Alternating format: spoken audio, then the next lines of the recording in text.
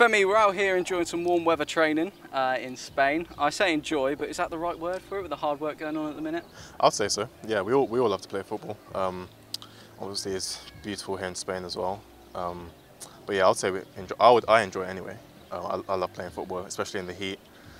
Obviously, it's hard work getting ready for this tough season coming up. But yeah, I, I, I think everyone will be enjoying this so far.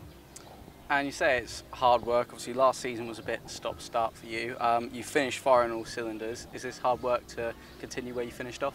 Yeah, of course. Um, listen, I put last season behind me. Um, the last six weeks of off-season, I've just been working, and obviously the six weeks of pre-season that we're going to have, or four weeks, five weeks left, just making sure that I'm 100% all firing, ready to go, bring this club back into the championship.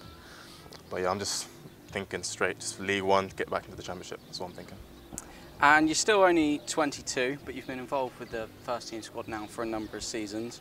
Um, there's a lot of young boys here um, looking to make their way into the first team like you did. Do you see yourself as a bit of a guide for them?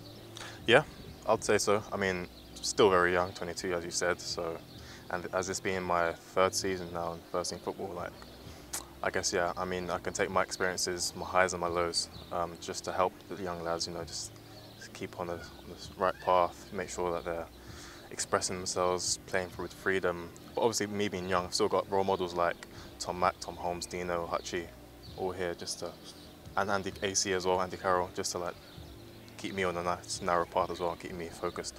That's it. Don't forget to mention AC. Um, this weekend, obviously, we're building up to our first pre-season fixture against Wimbledon. Um, a return to action. Is that something you're looking forward to? Yeah, yeah. I've, uh, to be honest, I've been looking forward to the pre-season, the whole of the off-season ironically. Um, obviously, it was nice to get away, but like, after a while, I just was buzzing to get back. And obviously, Wimbledon's a great chance to showcase what I can do again, get back on the pitch, something I've missed. So, yeah, I'm looking forward to it highly.